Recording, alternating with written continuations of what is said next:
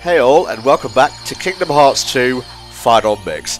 It's very appropriate that uh, right now in the UK temperatures are soaring because we're going to be heading to the Savannah Citadel today of Kingdom Hearts. No, it's not Sonic as much as I wish it was. It's the Pride Lands. I meant to just say Savannah, but because I'm so infatuated with that fucking blue blur, the, the words just tumbled out of my mouth in an order I didn't want.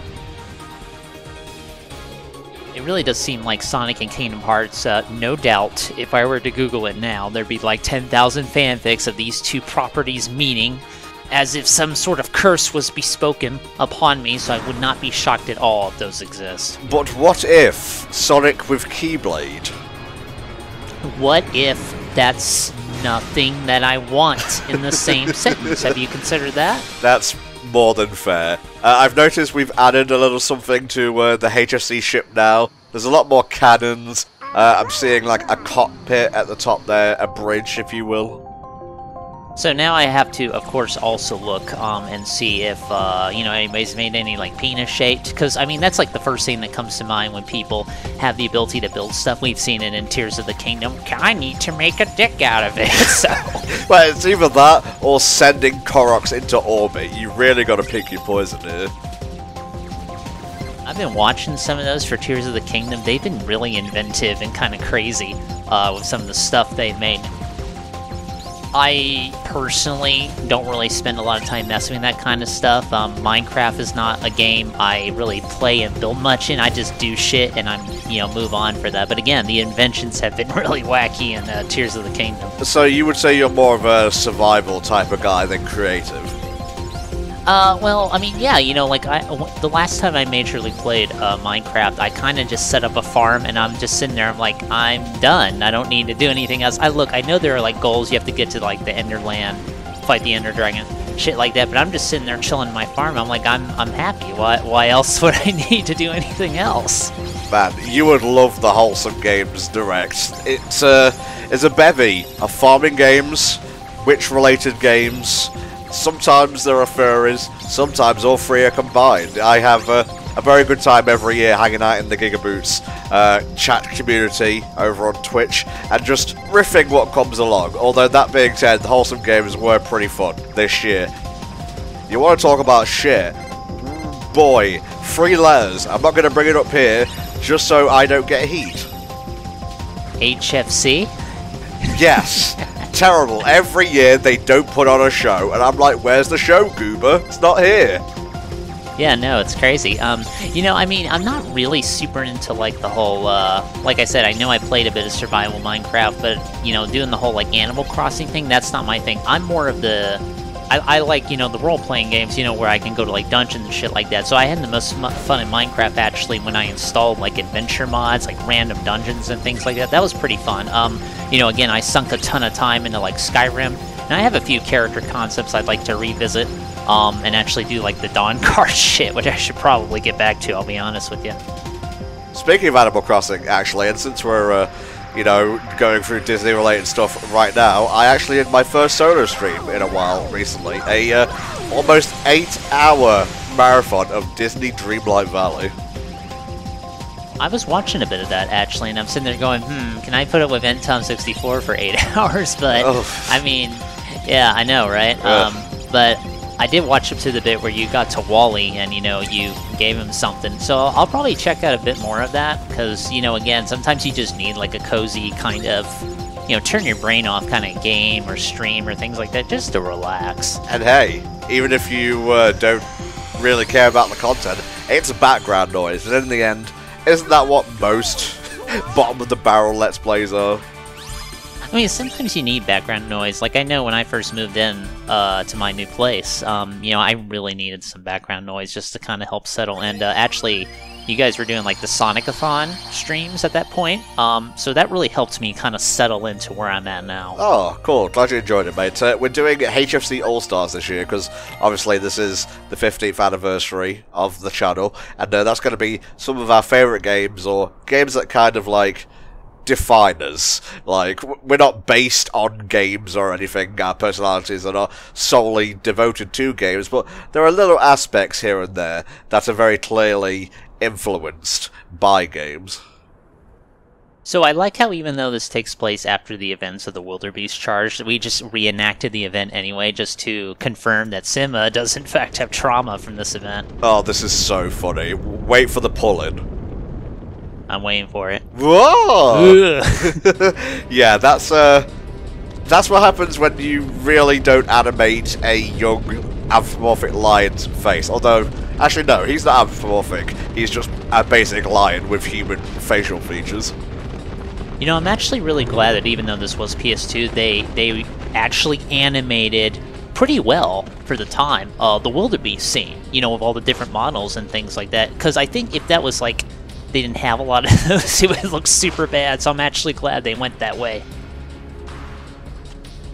Oh god. Oh man, now yeah, I'm remembering that that super bad remake of you know that GIF animation. Yeah, it's called The Lion King in 3D. Look it up. It is. I I nearly died the first time I watched it. That was archival audio of Jonathan Taylor Thomas, I believe. Yeah, I was sitting there thinking, did they use archival audio James Earl Jones in this game? And I don't think they did. No, they did. Oh yeah, I'm again. It's been fucking years since I played this game. All right. Yeah, I can't remember pretty much anything we did for the Pride Lands in uh, the original playthrough. Sex. Oh no! yeah, Hakuna Hurtadas. Just do that off screen, okay? Please, this is a family channel. Fool, well, I don't know about that. I'm on here, right? the biggest lie ever told. Alright, let's go down the list here on IMDb. Okay, I saw David Gallagher, who obviously voices Riku, and for a split second, my brain read Riku as Rafiki, and I was like, hang on, something's wrong here.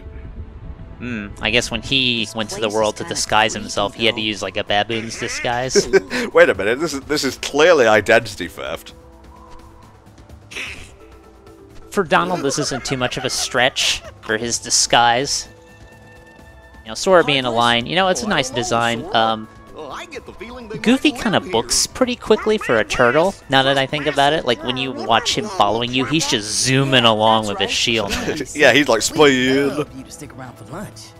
You to stick around for lunch. That is definitely not Whoopi Goldberg. I think it's Tress MacNeille, actually. That's not gonna be a Yeah, no, it's Tress MacNeille, and, um, well, Jim Cummings was Ed, anyway, so, you know, he's fucking here, of course. And uh, that's Cheech Marin has the other dude. Banzai, I think.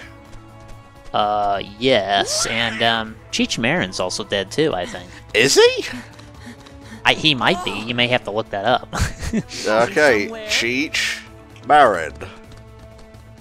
Da-da-da.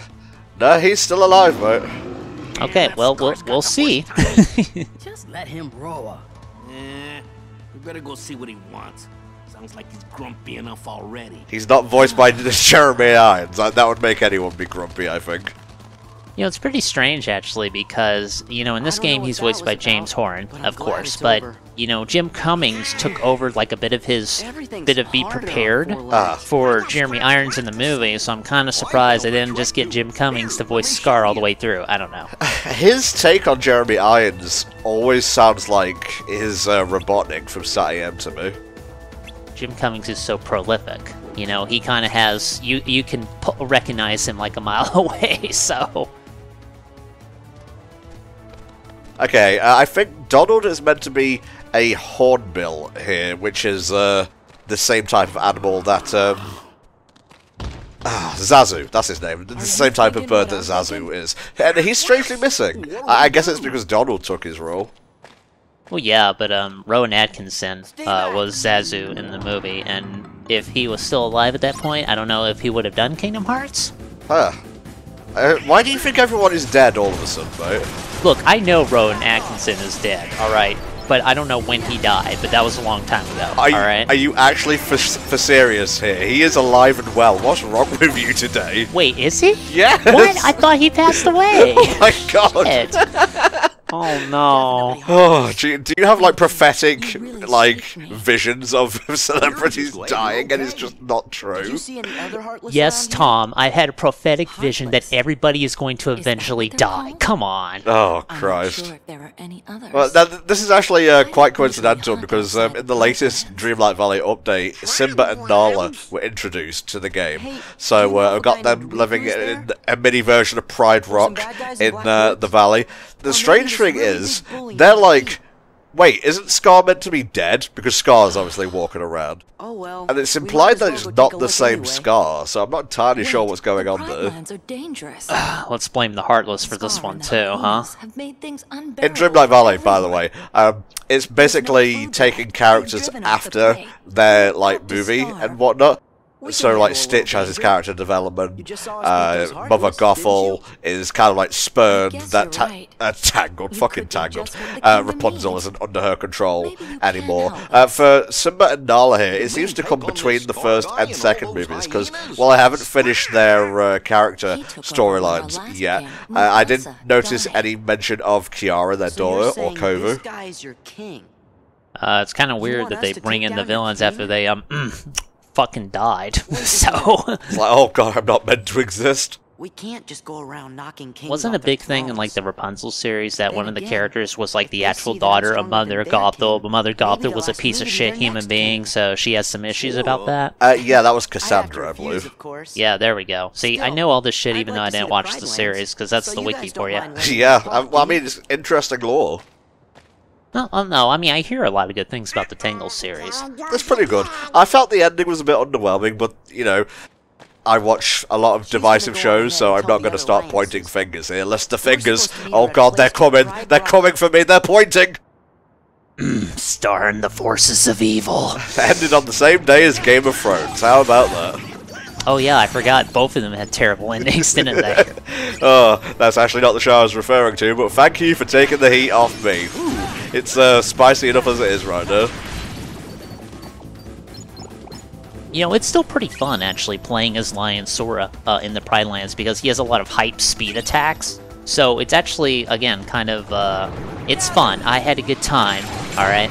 Oh wow. Are you sure? Do, do you need me to call a doctor? You may need to, yeah. I'm seeing people who uh, are alive, they're meant to be dead, and now I'm having fun. Clearly I'm ill. Spending all that time off of the internet will do that for you. Well, I, I'm glad you're picking up hobbies outside the net, mate. God knows one of us has to. I'm still looking into like a good jujitsu place to kind of do, you know, what I want to do. So that's been pretty interesting, although it's been a crapshoot at best. Any new hobby will uh, take some fine tuning here and there, so uh, just keep at it and you'll find what works for you. Yeah, I'm definitely not giving up, but oh man. Oh, to be a lioness, sleeping all day. Oh wait, I pretty much do that anyway. Uh, well, at least you're not a lioness. That would be weird. That's him. Hmm, bit close. Uh, what? I'm glad that he doesn't respect personal space. That's good. Huh. Bunch of freaks? Yes, you'll do nicely for our army. Yeah, to be fair, uh, Donald pr- looks pretty freakish. Like he's a normal bird, but then he has his ugly cartoon head on top. It's a little weird. We have Robert Guillaume What is it? as uh, Rafiki, who voiced him in the original film. Uh, you would know him as Alex's dad in the Half-Life franchise. But he says it won't Gotcha. Now, I look. No, I, I remember reading about this. I definitely know that he is dead. Yeah, alright? yeah, he is sadly no longer with us. That's one out of three, mate. Meaning- Okay, good. Cut out for the job, Sora. Starting this part today, I had no idea such antics were on the horizon. Thank you, because I'm gonna be honest, Pride Lands may be the most boring world in the game. Scar finds out you're here. I don't know. well, okay. I was gonna say Atlantica, but I'm not bored, just terrified. Yeah, I'm not like disappointed. I'm just angry. So at this point, Scar has like basically taken over already. Simba's fucked off, and that's why the Pride Lands are the Ghost Lands, shall we say? Hey, a snack. Scar has to do something really bad to kind of get all the greenery to die, you know? Well, it's just him being there. It's the personification of his evil that makes all the grass go away. Scar, the king. Oh my god. Oh no, I forgot about Pete Lion. Oh, I'm coming for you. Rah. Again, Jim Cummings voicing him and Scar would be actually kind of interesting in this scene. Yeah, let's watch this asshole do this. My back. yeah, my back. I know what that's What are like. you doing It's funny because Pete is actually a cat, as we friend. previously discussed. I know people say he's a cat. I cannot see cat. I'm gonna be honest with you. Can you see dog though? Dawn Scar. We can't hunt him alone with no I don't know what the fuck No Pete's is. Like, I know, again, he's a cat, but no animal looks like that, okay? I was actually referring to the fact that uh, Jim Cummings voiced uh, Cat and Cat Dog. all yours, Scar. You think I've seen that show? The, the vile, the venom in that sentence. I'm sorry. Oh, I, I will not imply that you've watched shows that I wouldn't know you'd like or not in future. Didn't everybody hate Cat Dog anyway? Your general... I can't even say the fucking word. Your generalizations put my nuts in a bind. Do you realise that? Well, I do that with everybody, really. Guys, so weird going from 30 FPS Pete antics to uh, 60 FPS overworld hijinks. Well, I'm sorry, they didn't adjust the cutscenes for the power of the PS4. I guess not. Oh, Wait a minute, if you get to the end of the Pride Rock, can't you just, like, say King me? I don't know actually. It's not like King of the Hill or anything. Ah, not like the show, especially. That would be an interesting Kingdom Hearts world. Ugh. Daggetsor? Who would the boss fight be? I- I'm curious. I'm morbidly curious. Uh, I'm trying to remember my time with King of the Hill. John Redcorn. Why John Redcorn? He's never been. I would I would do Dale personally, because then he could do Pocket Sand. No, Dale should be a party member optionally, because I don't see Hank Hill fighting. I'll be honest with you. Why is he just like an NPC in this fucking nightmare scenario we've envisioned? Yeah, maybe. I mean, I know he's always telling people he was going to kick their ass, but Dale actually I have seen fought on screen, so Yeah, Boomhauer can be like the major one. Oh, dang old Kurog. all right. This was a weird tangent. How are you? Hey, why the long face, Simba? Oh, that's not Yeah, Nathan know. Lane. That's very clearly Quinton Flynn. well, I mean, Quinton Flynn played him in the TV show, so He did uh, Timon and Pumbaa, funnily enough. Very neat show. Wasn't my favourite of the Disney afternoon stuff, but uh, I enjoyed it for what it was. because they didn't really have a lot to work on, they kind of just sent them off to do some weird shit, you know. Would you look how he's grown? Alright, we've got uh, Ernie Sabella reprising his role as Pumbaa. Uh, I think this might be Cam Clarke. Yeah, that's Liquid Snake, by the way. Yeah, yeah, no, that's Cam Clarke as uh, adult Simba. Now we say sex. He's also the singing voice in Lion King 2. Huh, that's interesting. That's Liquid Snake, by the way. Whoa. Right, now watch a pro. I've been a lion for at least all my life. I have lots of experience. Cats are pretty amazing in What's that they can wrong? jump and We're leap all these gonna make it. distances, and yet sometimes they do the stupidest fucking shit, you know? I'm aware, my new kitten has started climbing What? everywhere. Never. Oh, you have a new not kitten? Yeah, his name is Here, Jiro. You can go on my uh, Twitter and see lots of lots it. of pictures of him, sir. You know, my mom wanted to give me a kitten because they have like kittens outside now. Uh, it's like a wild cat, but I mean, I'm not in a place where I can really take care of a kitten. They need a lot of attention. I can't spare that right now, unfortunately. With like my, you know, I work obviously all week, so it's a little tough. I'm 35 and I have things to do. Yep, yep. hmm I mean, that's true. It's true. Just edited and uploaded those episodes, so uh, the running joke that will stay firmly in those episodes is uh, fresh in my mind. Oh, clearly you don't know me well enough. You know I'll drag it wherever. Oh, I'll drag you down with me. I'll ruin you like I ruined this channel. And myself. There we go. Wow, we're uh, at the end of the part already. Time flies when you're uh, clearly not paying attention to the narrative of a world you covered 15 years ago. I, I don't think there's any spoilers for The Lion King in here, guys. Well, okay, well, except the boss fight. That one is new. Yeah, that's uh, that's pretty strange overall. Sex. Sex. Just across the horizon. Sex. There's no sex here. Pretty sure Rafiki did not have this like conservatory uh, adjacent cave in the movie. He was like out in the savannah in the tree of his own. PS2 modeling and all. Just more convenient to have him close to the action. God, that's Goofy's brother. What are you doing?